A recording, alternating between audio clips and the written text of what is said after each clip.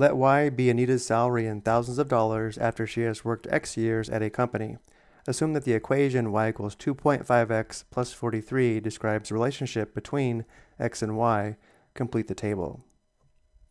Looking at the table, we are given the x values of 0, 1, 2, 3, and 4. To find the corresponding y values, we need to substitute each x value into the given equation. For the first row, we are given x equals 0. To find the corresponding y value, we substitute 0 for x into the equation, which gives us y equals 2.5 times 0 plus 43, which is equal to 0 plus 43, which equals 43. When x is 0, y equals 43, which means the ordered pair 0, comma 43 is a solution to the given equation. Next we have x equals 1. To find the corresponding y value, we now substitute 1 for x, which gives us y equals 2.5 times 1 plus 43. 2.5 times 1 is 2.5. 2.5 plus 43 is equal to 45.5. Now it is important to keep in mind that these y values represent thousands of dollars. So at year zero, or when Anita started her job, she was paid $43,000.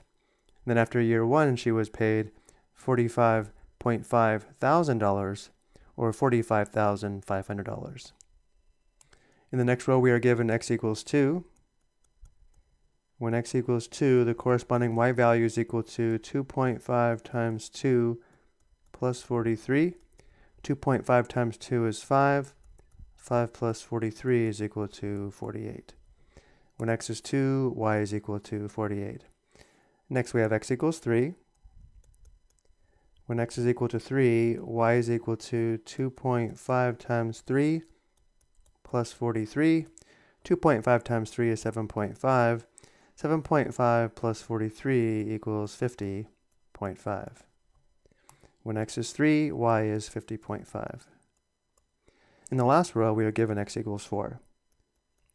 When x is equal to 4, y is equal to 2.5 times 4 plus 43 2.5 times 4 is 10.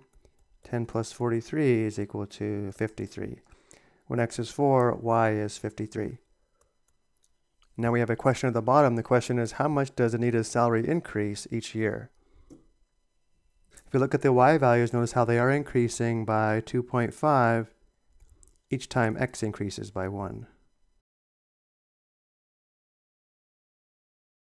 And remember, if y increases by 2.5, this means $2.5 thousand. $2.5 thousand is $2,500. So Anita's salary increases by $2,500 each year. And before we go, if we go back and look at the equation, we have y equals 2.5x plus 43. Notice how the coefficient of x is 2.5, which means as x increases by 1, the y value will increase by 2.5, which we also see in the table, which again is why the salary increases by $2,500 each year. And this linear equation is said to be in slope-intercept form, where the coefficient of x, which in this case is 2.5, is called the constant rate of change, or the slope if we were to graph the line on the coordinate plane. I hope you found this helpful.